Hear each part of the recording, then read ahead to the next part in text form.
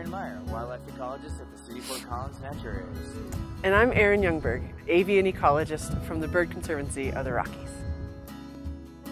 We're here at the city's Coyote Ridge Natural Area where we're working to plant native grasses, wildflowers, and shrubs at Coyote Ridge. This area is not open to the public, so we are giving you a behind-the-scenes tour. One of our goals here is to help bring back grassland birds as part of a larger effort we call ecological restoration. Helping species recover is for the city of Fort Collins to address major population declines in grassland birds.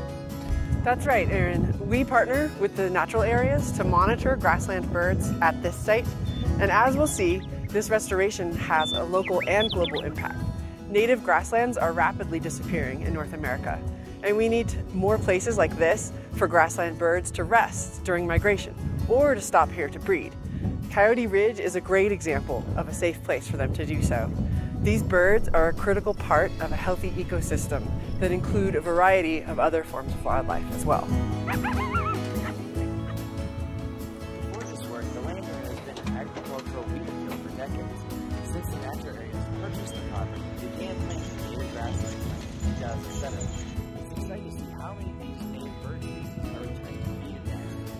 Excited that Bird has shown the success of the Coyote Ridge restoration. Absolutely, Erin. We're excited too.